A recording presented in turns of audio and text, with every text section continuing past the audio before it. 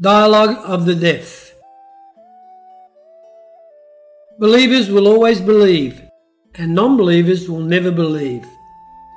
The stronger our faith in the deliverance of Amitabha Buddha, and the greater our efforts to propagate it, the more profoundly we will experience the truth of this old saying.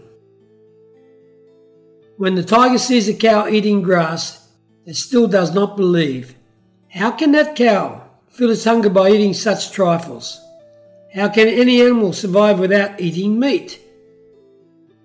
When the cow spots fish in the water, it becomes skeptical.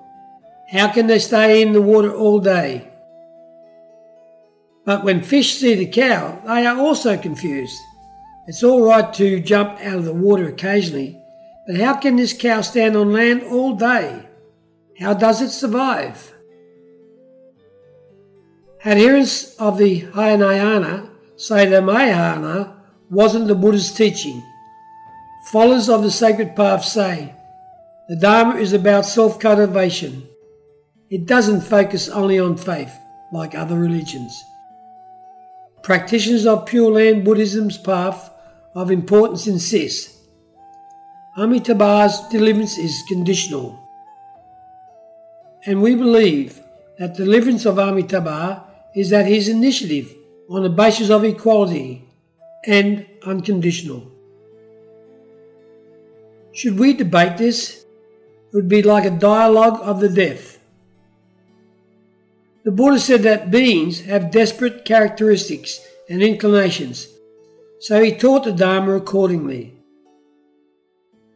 So it's back to believers will always believe, and non believers will never believe. Amitabha's deliverance is the loftiest, ultimate, and all inclusive Dharma path. It cannot be understood. We can only have faith in it.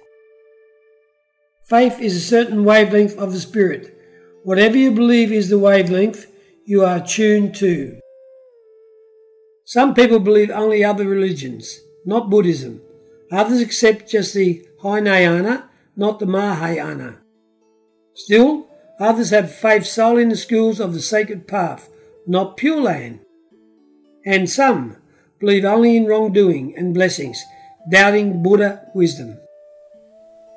Those who have full faith in Buddha wisdom and recite Amitabha's name exclusively are naturally able to understand thoroughly and posit the Hinayana, the sacred path, wrongdoing and blessings and the dedication of merit from worldly good deeds. Thank you, Namo Amituofo.